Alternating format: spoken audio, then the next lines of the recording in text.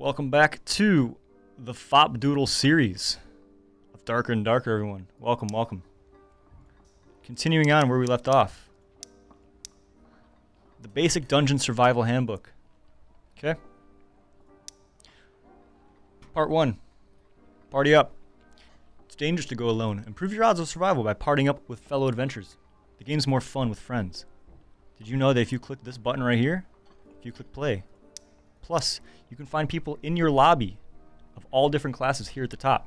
We have 60,000 people online, 35, 33,000 actually, lobby playing right now. If this doesn't suit you and you don't want to search one by one, you can go to the gathering hall in the top right. And then you search, which is a, a segue from my last video. You can find players. So I'm in West Coast. These are all players that will come that they want to uh, see what your group is. Okay, back to Fop Doodles. You're not the hero. Dungeon diving is a hazardous endeavor. Everything out of there can and will try to eat you. Over 90% of our internal testers die to the first monster they met. Can you do better? Currently, we are here in Dungeon Basement L2.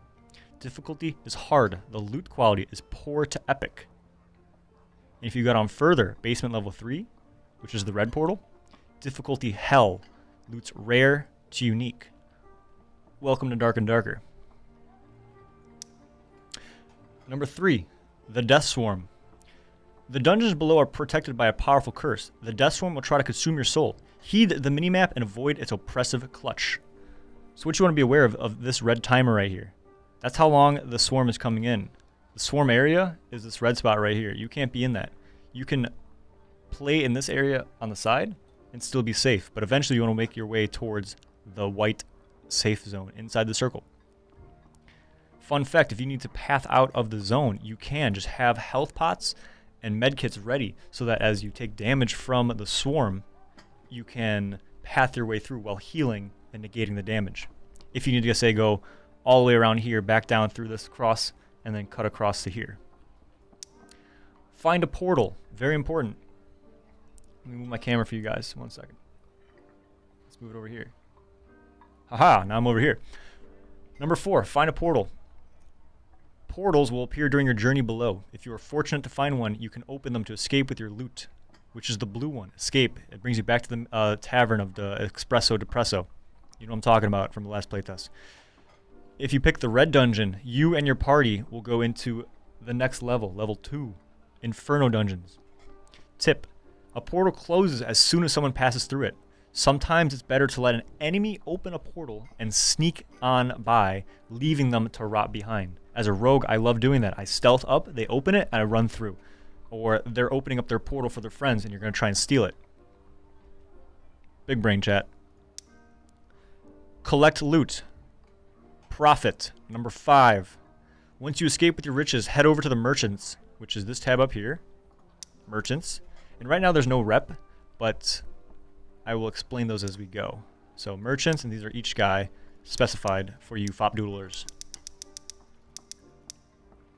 These guys will buy your old weapons, ill-fitting clothes, and even your smelly old boots. You know, no one wants to hold on to their smelly boots. This crazy guy likes shiny things, the treasurer. You're to pick up treasure, he's to give you gold, you're to buy more stuff, and you go pew pew pew. Okay? And that, my friends, is the quick and dirty way of the Fop Doodler adventures. Let's go over some merchants. The Surgeon, you can buy medkits for gold. Okay? Heals 10 HP for 5 gold. This one heals 15 HP for 15 gold. You can buy the same two in stacks of 3. Okay?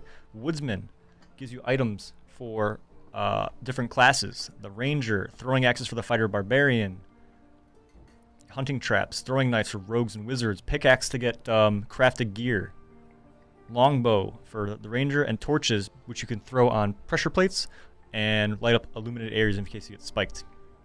The Goblin Merchant is a random RNG roll, random name generator, RNG, meaning you buy stuff with gold, 75 gold, 75, all 75, and it gives you a random stat for your class. Sometimes good, not always the best. Treasurer, you can get coin purses, so if you have a bunch of gold in your stash, this is 50 gold coins rather than having a bunch of gold just everywhere. You can bring it into the dungeon as well so that you guys see uh, less inventory space. You save inventory space. Uh, next up on the treasure So you convert your silver coins that you get in game to gold right here. The collector, uh, he has nothing to buy, but what you're going to sell is all the stuff in your stash. So if you have like a treasure thing, you're going to sell that to your merchants collector. Valentine, last playtest we had candy canes. If you collect candy in your game, right here, heart candies, or you go to the merchant tab, the trade tab, and you go to miscel miscellaneous trade, you're going to see people are selling candy for gold. And you can get good gear with this, or ore for crafting. Okay? Each tab has a different uh, trader thing. So fighter, barbarian, rogue, ranger's hideout, wizards, cleric, utility, which is like uh, necklaces and rings. And then, yeah, miscellaneous is for the candy canes and uh, ore. That's the Valentine. So this guy, uh, what's the word? Cycles out loot every once in a while. And then when you have enough candy cane, you want to buy some gear. The tailor is cloth gear. And then you can use crafting gear, which takes the powder. You see at the very bottom. 12 blue, 25 red. Same thing here. And it's going to be blue has three stats that are un unidentified perks. Red can cycle back between three and four. Like this guy has four, but this one has three. And it's going to cycle that this next cycle, this ruby silver vestments might have four perks. Be aware of that. You don't be wasting your stuff on three perks. Okay? Different gear sometimes has green, blues. You can buy your stuff here. Leathersmith, same thing. Leather gear for the rogue and fighter. I'm sorry, rogue and ranger. And if you want to craft stuff, here you go. You do the same thing. Right here. How to get that powder and whatnot. Um, the alchemist right here. You go to services, makes powder. The weaponsmith under services makes ingots, blue, purple. See? Armor, got plate gear, green, mostly whites and greens. Alchemist gives you health pots that are limited quantity, and Mage Staff is staffs for uh, casters. So here's a green staff. Maybe you want to pick one up for your friend, or you're a solo loner gamer who's got no friends and only plays rogue. On to the next guy, Tavern Master. Ale makes you drunk for 15 seconds but gives you 11 strength. Who would want to buy this, you say? Well, maybe you're a cleric friend is OP or you roll cleric and you, then your abilities go to class, then spell, I'm sorry, perks and skills. And then right here, Brewmaster. Oh, sorry, I'm going to move my camera once more. Zoop, overside, other side. Brewmaster, you do not exhibit the detrimental drunk effects when you drink alcohol. That is big. Why? Because you get damage, but you're not drunk. So you can put this one, where is it? Perk, right here.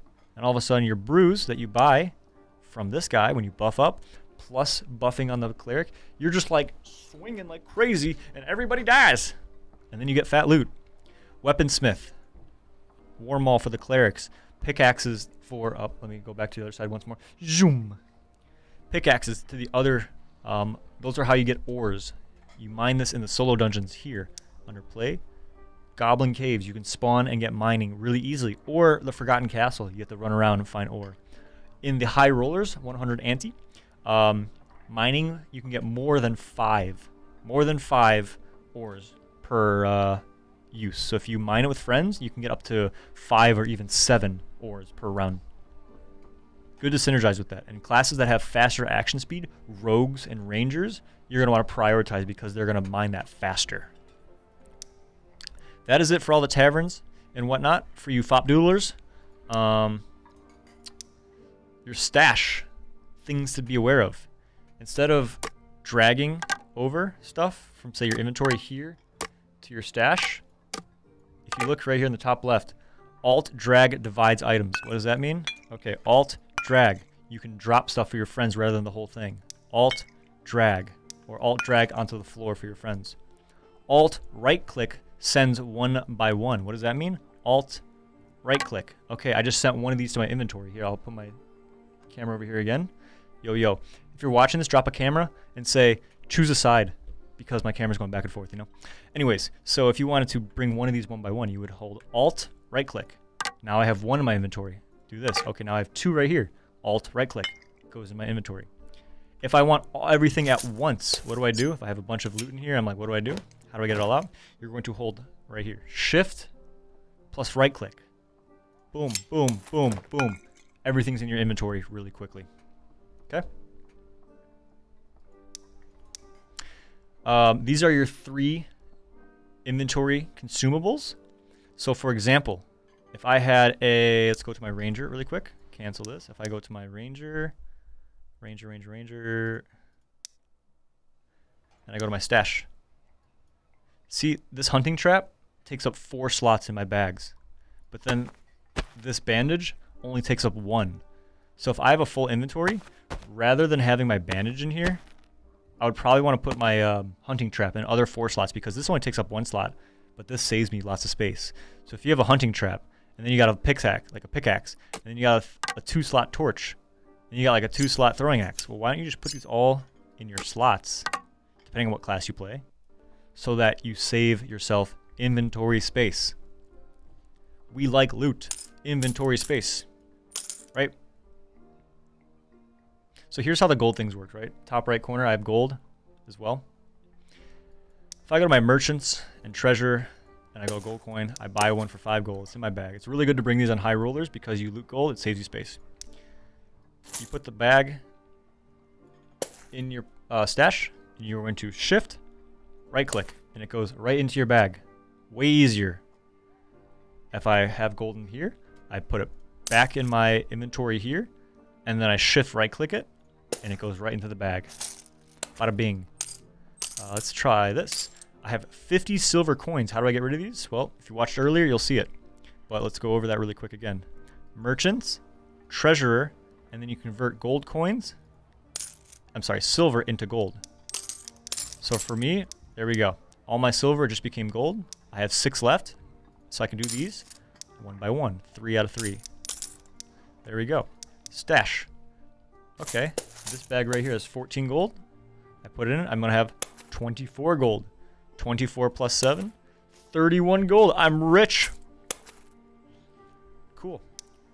Uh, trading. You're going to want to become a trader. Next tab, I guess. We have merchants. Trading tab. If you want to trade stuff, you become a trader. How do you do that? Well, the Trade Guild membership. The guild accepts members of all classes, races, and alignments. Don't be a jerk in the Trading Post channel. No profanity, racist, and exclusionary language in the chat. No personal attacks on other traders. No NSFW content. If you don't know what that means, Google it. Your account will be banned from the playtest for breaking the rules. How much does it require to get you in? Well, you got to be level 5. You have to have an initiation fee of 25 gold by playing some solo. It costs 0 over time. And each trade, if you send it to your friends or someone else, it costs 15 gold.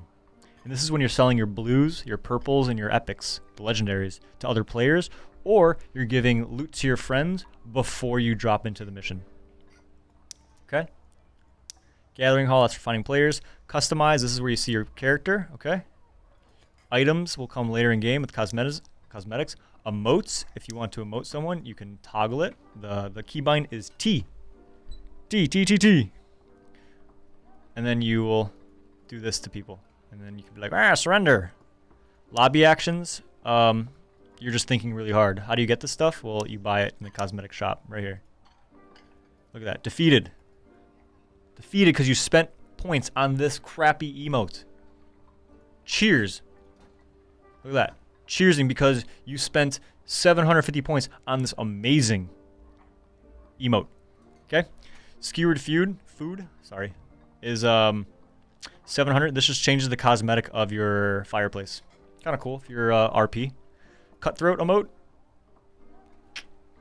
You know, pointing finger. Remember, Remember, remember, for every finger that you point, three are pointing back at you. Something like that. Blue Torch, up to you if you want cosmetics. It's actually pretty hard to see the game with this, so if you want to buy them for 1500 it's up to you.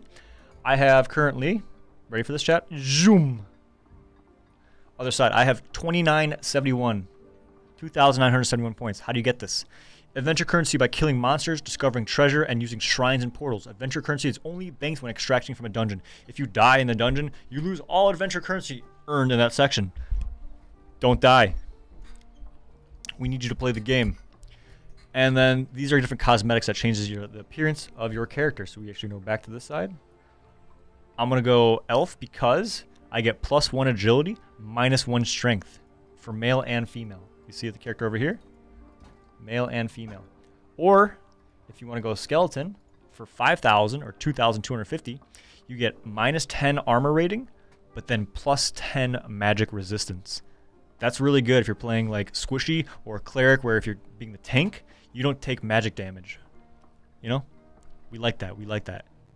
So I can buy the elf race right now if I want to go rogue. Um, honestly, we're gonna go try hard, so I might actually just go elite skeleton because why not? You know, why not? And then once you buy your stuff, you go to customize, and this is where you would equip each thing. Um, let's go over some UI stuff for Fop Doodles, okay? General settings. For all you FPS nerds out there like me, I play on 800 DPI, and I change my mouse sensitivity to 0.19. The default, I believe, is 0.25. I slow this down because when I'm aiming with my uh, my rogue or my archer, I want to be a little bit more precise. Okay. Streaming mode. Uh, I'm sorry. Lower the number, we'll backtrack. Lower the number, the slower you're gonna move. The the higher the number, the more zippy you're gonna go. Streaming mode, streaming mode on and off turns uh, all the players' names into like a barbarian hashtag like number or like rogue hashtag number number. So everything's like reset if you don't want to see profanity names. Audio, self-explanatory. Total volume, 100%. Effect volume, 100%. Music volume, I kind of turn down so that I can hear more uh, cues. Background sound, I just leave on so I can hear the game. Voice chat, I turn that on. Voice chat channel. Um, if I'm not streaming, I keep it to proximity because it's fun to talk to people. If I'm in a group and I change it to party because I want my uh, in-game comms, unless I'm using Discord, to be voiced to my party only. Uh, up to you, push to talk, send mode. I keep mine on push to talk because I play in Discord, and when I want to talk to people in game, I usually leave it on proximity. Or if I want to talk to people in Discord first and then talk to my other team in party, I can do push to talk, right? Video settings. I'm an FPS nerd. This is up to you. I keep everything on low. If you want to bump it up, bump everything up to medium and then go from there. If you have an oak like awesome PC and there's no stuttering, by all means, play on Epic. The game looks great, very fun. Rendering scale, I keep it 100%. Display mode, this is up to you, personal preference. I get the most FPS on full screen, and I play on 1920 by 1080. My max frame limit, if you're getting screen jitters and like uh, tearing, mess around with this number and set it to um, initially your monitor's refresh rate. So if I have I have a 240 hertz monitor, so I would maybe set mine at 240 and if that's still tearing, maybe I would try like 239. And if that's still tearing, I would go down in 5, like 235. And go from there. Or if you have a 60 hertz, well, leave it on 60. If you have a 70 hertz monitor, that exists, I don't even know. 70 hertz. I know 144 exists, so maybe you want to set yours at 144 and then hit apply. Okay? I keep it on max because I just like max frame rates. Screen brightness. I turn this all the way up. I think the default is somewhere around like here or something like that. But have it all the way up so that you can see the game. Inputs, this is up to you. Uh, I buying crouch, I think default is C. I do left alt. A little bit easier for me. Um, you can also click it and do maybe like middle mouse button since it's kind of unused. It's up to you. But I like alt. Move forward, WASD, uh, walk, left shift if you want to bind to something else. Left primary attack, secondary attack, depending on like your swings, if you hold left click, you're going to throw your right arm out. If you hold right click, you're going to swing your left arm. So maybe you want to switch these depending on your playstyle. Uh, R is to reload. You can bind Q and E to your skills. Maybe like you have a mouse such as this G Pro Wireless, and you're going to want to bind. Oh, you're going to want to bind it to like your thumb buttons here, right here. One and two. Okay. Emote wheel is T. Inventory is tab by default voice on and off very fast is uh, comma. So maybe you're in a pinch and you want to silence everyone, use comma. Voice mode selection. This goes back and forth between proximity and party. So that is period on your keyboard. To talk in game. B. B. B. B. B. B. F. You can change this. Special interaction. F is to interact with doors, uh, disarm traps, and whatnot.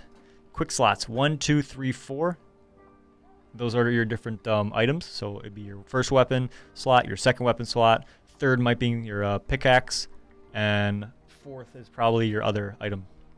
Uh, pro tip, you run faster if you put away your weapons or take off uh, gear because there's minus movement speed. Press X or bind that to something else, you will put away your weapons, and that will allow you to run faster and escape. And then spectator mode, left, right mouse to change who killed you, and then change perspective between first person and third person. Okay. Cool. Uh, let's see if you see invites. You can allow party invites in the top right. Clicking this little icon right here, you'll see people invite you. If you want to be solo, you turn that off. If you want to be with people, click it on. Fame and Karma system. This is where you upvote people. I want to shout out King Kyle. You're uh, my dual partner, lifelong friend. Let's go, buddy. You can upvote people right here. The Karma system displays the trustworthiness of a player. Let me uh, actually put this now down here. Waha. The karma system displays the trustworthiness of a player based on the opinion of other adventurers. You can affect the karma of your past teammates by giving them praise or condemnation. You can only report on teammates for the previous six matches. Players with red names can cannot report other players until they restore honor to their name. You currently have zero karma reports because I need to play one more portal, four out of five. If you don't have any karma reports, it will regenerate after five portals. Punishing a team killer does not use a karma report.